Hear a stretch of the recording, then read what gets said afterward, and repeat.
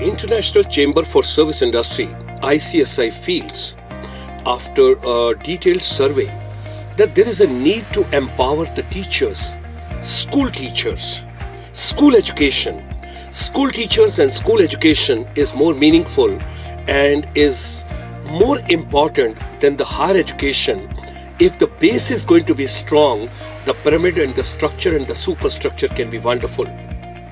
The survey which we have carried out, we feel the teachers to be empowered to empower the youth of the country. There's a wonderful, tremendous efforts by the present government in India, and at present, the digital education, and particularly when we are talking about vocational, when we are talking about technical education, and when we are talking about the IT, ITS, and IoT, Internet of Things, which is coming in a very big way with lots of innovation in education system.